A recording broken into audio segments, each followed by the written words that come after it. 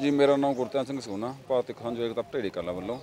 ਅੱਜ ਦਾ ਜਿਹੜਾ ਪ੍ਰੋਗਰਾਮ ਆ ਆ ਸੰਯੁਕਤ ਮੋਰਚਾ ਗੈਰ ਰਾਜਨੀਤਿਕ ਮੋਰਚੇ ਲਈ ਕਾਲ ਆ, ਕਿਉਂਕਿ ਜਿਹੜੇ ਸਾਡਾ ਮਹਿਲਾ ਅੰਤਰਰਾਸ਼ਟਰੀ ਔਰਤਾਂ ਨੇ ਉਹ 골ਡ ਮੈਡਲ ਸੋਨੇ ਦੇ ਮੈਡਲ ਵਗੈਰਾ ਜਿੱਤ ਕੇ ਆਈਆਂ ਨੇ। ਪਰ ਦੂਜੇ ਪਾਸੇ ਜਿਹੜੀ ਬੀਜੇਪੀ ਸਰਕਾਰ ਦੇ ਮੰਤਰੀ ਨੇ, ਜਿਵੇਂ ਬਿਰਜ ਭੂਸ਼ਣ ਸੰਸਦ ਮੈਂਬਰ ਆ, ਉਹਨੇ ਉਹਨਾਂ ਨਾਲ ਸ਼ੋਸ਼ਣ, ਜਿ- ਜਿਨਸੀ ਸ਼ੋਸ਼ਣ ਕਰਨ ਜਿਹੜੇ ਉਹਨਾਂ ਦੇ ਵਿਰੋਧ ਵਿੱਚ ਅਸੀਂ ਨੇ, ਇਹ ਸਾਰੇ ਪੂਰੇ ਪੰਜਾਬ ਦੇ ਵਿੱਚ ਧਰਨੇ ਮੁਜ਼ਾਹਰੇ ਕਰ ਰਹੇ ਹਾਂ। ਤਾਂ ਜੋ ਇਹ ਜਿਹੜੇ ਬੀਜੇਪੀ ਸਰਕਾਰ ਦੇ ਨੁਮਾਇੰਦੇ ਜਿਹੜੇ ਆਮ ਲੋਕਾਂ ਵਾਸਤੇ ਕਾਨੂੰਨ ਹੋਰ ਨੇ, ਜੇ ਕੋਈ ਆਮ ਬੰਦਾ ਗਲਤੀ ਕਰਦਾ, ਉਹਨਾਂ ਵਾਸਤੇ ਕਾਨੂੰਨ ਆ ਜਿਹੜੇ ਬੀਜੇਪੀ ਸਰਕਾਰ ਦੇ ਨੁਮਾਇੰਦੇ ਨੇ, ਜਿਵੇਂ ਪਹਿਲਾਂ ਆਪਾਂ ਉਦਾਹਰਨ ਦੇ ਤੌਰ ਤੇ ਅਜੇ ਮਿਸਟਰ ਟੈਨੀ ਨੂੰ ਕਹਿ ਸਕਦਾ, ਜਿਹਨੇ ਕਿਸਾਨਾਂ ਤੇ ਪੱਤਰਕਾਰਾਂ 'ਤੇ ਸਿੱਧੀਆਂ ਗੱਡੀਆਂ ਚੜਾ ਕੇ, ਉਹਨਾਂ ਕਾਲ ਤੱਕ ਕਿਸਾਨਾਂ ਨੂੰ ਹੱਦ ਤੱਕ ਕੋਈ ਇਨਸਾਫ ਨਹੀਂ ਮਿਲਿਆ। ਦੂਜੇ ਪਾਸੇ ਹੁਣ ਜਿਹੜੇ ਆਪਾਂ ਇੱਕ ਪਾਸੇ ਤਾਂ ਔਰਤਾਂ ਦਾ ਮਾਨ ਸਨਮਾਨ ਕਰਦੇ ਆਂ ਵੀ ਔਰਤਾਂ ਦਾ ਬਹੁਤ ਬੜਾ ਮਾਨ ਸਨਮਾਨ ਆ, ਇਹਦੇ ਬਿਨਾਂ ਜ਼ਿੰਦਗੀ ਨਹੀਂ ਚੱਲ ਸਕਦੀ।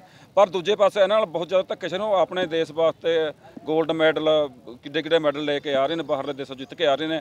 ਪਰ ਸਾਡੇ ਜਿਹੜੇ ਮੰਤਰੀ ਨੇ, ਬੀਜੇਪੀ ਸਰਕਾਰ ਦੇ ਨੁਮਾਇੰਦੇ ਨੇ, ਉਹ ਉਹਨਾਂ ਨਾਲ ਉਹਨਾਂ ਦਾ ਜਿਨਸੀ ਜੌਂਸਨ ਸ਼ੋਸ਼ਣ ਕਰ ਰਹੇ ਨੇ। ਇਹਦੇ ਵਿਰੋਧ ਦੇ ਵਿੱਚ ਆਮ ਲੋਕਾਂ ਨੇ ਦੇਖੋ, ਜਿਹੜੇ ਬੀਜੇਪੀ ਦੇ ਜਾਂ ਜਿਹੜੇ ਸਾਡੇ ਮੰਤਰੀ ਨੇ, ਜਿਹੜੇ ਲੋਕਾਂ ਨੂੰ ਚੁਣਦੇ ਆ, ਉਹ ਤਾਂ ਕੋਈ ਬਾਜ਼ ਉਠਾ ਨਹੀਂ ਰਹੇ। ਪਰ ਇਹਦੇ ਵਿੱਚ ਕਿਸਾਨ ਜਥੇਬੰਦੀਆਂ ਨੂੰ, ਆਮ ਲੋਕਾਂ ਨੂੰ 80% ਜਿਹੜੇ ਕਿਰਤੀ ਮਿਹਨਤੀ ਲੋਕ ਨੇ, ਇਕੱਠੇ ਹੋ ਕੇ ਉਹ ਲੋਕਾਂ ਦੇ ਬਾਜ਼, ਹੱਕਾਂ ਦੇ ਵਿੱਚ ਆਵਾਜ਼ ਉਠਾ ਰਹੇ ਨੇ। ਇਹਦੇ ਕਰਕੇ ਸਾਰੇ ਡੀਸੀ ਦਫ਼ਤਰਾਂ ਨੂੰ ਵਿੱਚ ਇਹ ਮੰਗ ਪੱਤਰ ਦਿੱਤੇ ਜਾ ਰਹੇ ਨੇ। ਜਿਹੜਾ ਇਹ ਸੰਘਰਸ਼ ਹੈ, ਦੇਖੋ, ਉਹਨਾਂ ਦੇ ਉੱਥੇ ਦਿੱਲੀ ਜੰਤਰ ਮੰਤਰ ਚੌਂਕ ਦੇ ਉੱਥੇ ਧਰਨਾ ਮੁਜ਼ਾਹਰਾ ਚੱਲ ਰਿਹਾ। ਅਸੀਂ ਪਿੰਡਾਂ ਦੇ ਵਿੱਚ ਹੁਣ ਵਿਹਲੇ ਹੋ ਗਏ, ਇਕੱਠੇ ਹੋ ਕੇ ਅਸੀਂ ਸਾਰੇ ਜਿੰਨੇ ਜਥੇਬੰਦੀਆਂ ਇਕੱਠੇ ਹੋ ਕੇ ਉੱਥੇ ਪਹੁੰਚਾਂਗੇ। ਉਹਨਾਂ ਦੇ ਹੱਕ ਵਿੱਚ ਜਦ ਤੱਕ ਉਹਨਾਂ ਨੂੰ ਮਤਲਬ ਉਹਨਾਂ ਦੇ ਕੋਈ ਉਹ ਨਹੀਂ ਮਿਲਦਾ, ਇਨਸਾਫ ਨਹੀਂ ਮਿਲਦਾ, ਉਸ ਤੱਕ ਲੜਾਈ ਚੱਲੂਗੀ। ਮੇਰਾ ਨਾਮ ਗੁਰਪ੍ਰੀਤ ਸਿੰਘ ਹੈ ਜੀ, ਪ੍ਰਧਾਨ ਯੂਥ ਵਿੰਗ ਬਲਾਕ ਘਨੌਰ ਜੀ।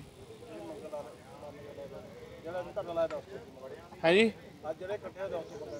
ਦੇਖੋ ਜੀ ਅਸਲ ਕਹਾਣੀ ਇਹ ਹੋ ਰਹੀ ਹੈ ਕਿ ਦੇਖੋ ਇਹ ਭਾਰਤ ਦੀ ਆਪਣੀ 1.5 ਅਰਬ ਆਬਾਦੀ ਹੋ ਗਈ ਉਹਦੇ ਵਿੱਚੋਂ ਆਪਣੇ ਪੰਜ ਚਾਰ ਜਿਹੜੇ ਖਿਡਾਰੀ ਨੇ ਖਿਡਾਰੀ ਵੀਰ ਨੇ ਉਹ ਮੈਡਲ ਲੈ ਕੇ ਆਉਂਦੇ ਨੇ ਮਤਲਬ ਕਦੇ 올림픽 ਦੇ ਵਿੱਚ ਕਦੇ ਕਾਮਨਵੈਲਥ ਦੇ ਵਿੱਚ ਪਰ ਜਿਹੜੀਆਂ ਆਪਣੀਆਂ ਸਰਕਾਰਾਂ ਚੁਣੀਆਂ ਹੋਈਆਂ ਨੇ ਵੋਟਾਂ ਪਾ ਕੇ ਸਿਰਫ ਇਹ ਵੋਟਾਂ ਲੈਣ ਵਾਸਤੇ ਕਿਸੇ ਵੀ ਹੱਦ ਤੱਕ ਗਿਰ ਸਕਦੀਆਂ ਨੇ ਹੁਣ ਇਹਨਾਂ ਦਾ ਐਮਪੀ ਉਹ ਲਾ ਲਓ ਉਹਨਾਂ ਨੇ ਐਮਪੀ ਜਿਹੜਾ ਬਰੀਜ ਭ- ਭੂਸ਼ਣ ਹੈ ਉਹ ਸ਼ਰੇਆਮ ਸ਼ੋਸ਼ਣ ਕਰ ਰਿਹਾ ਹੈ ਲੋਕਾਂ ਨੂੰ ਪਤਾ ਵੀ ਹੈ ਤੇ ਖਿਡਾਰੀ ਪਿੱਟ ਪਿੱਟ ਕੇ ਬ- ਬੈਠੇ ਨੂੰ ਅੱਜ 10-15 ਦਿਨ ਹੋ ਗਏ ਜੰਤਰ ਮੰਤਰ ਤੇ ਪਰ ਉਹਨਾਂ ਦੀ ਕੋਈ ਸੁਣਵਾਈ ਨਹੀਂ ਹੋ ਰਹੀ। ਜਦੋਂ ਤਾਂ ਉਹ ਮੈਡਲ ਲੈ ਕੇ ਆਉਂਦੇ ਆ, ਉਦੋਂ ਤਾਂ ਬੜੀ ਵਾਹਵਾ ਕੀਤੀ ਜਾਂਦੀ ਹੈ।